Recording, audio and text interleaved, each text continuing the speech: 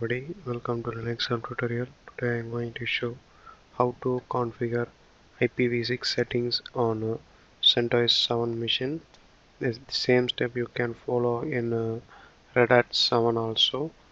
Let me see how to configure the IPv6 settings in command prompt.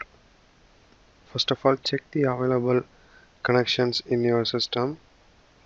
Type nmcli con connection. Show. Press enter.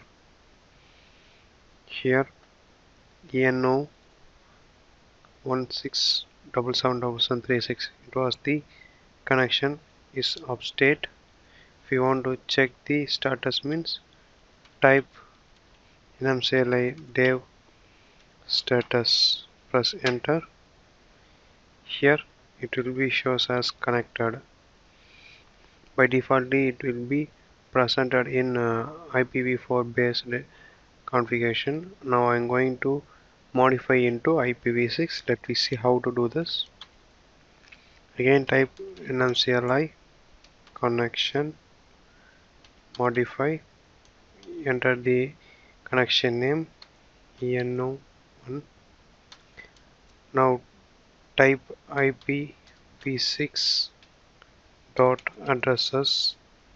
Now enter the IPv6 address here. I'm going to enter IPv6 address. After entering IPv6 addresses type IPv6 dot method and type manual. Press enter. Now the IP is assigned. Now next step I'm going to change the connection into auto connection mode. Type nmcli connection modify enter the connection name and type connection auto connect yes press enter. Now it will be set assigned. Next step I am going to enable the connection. For that you should type nmcli connection up. Enter the connection name. Press enter. And the connections for uh, ENO 167777 is up. If you want to verify the IPv6 means type nmcli con show enter the connection name and use grep IPv6 press enter. Here your configured IPv6 details will be shown here. Next step. Once again restart your network service by typing system ctl restart network dot services press enter. Now network service is restarted.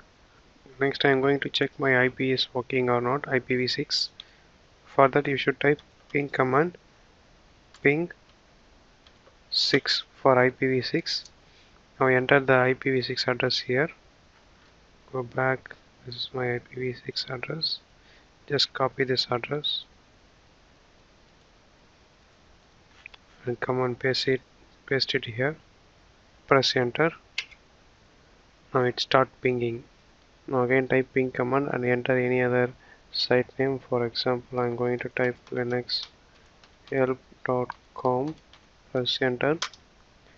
It start pinging. It also pinging outside the network also. So eh, still you have confused means open the browser type firefox here. You have opened firefox type google. Here the browser also working.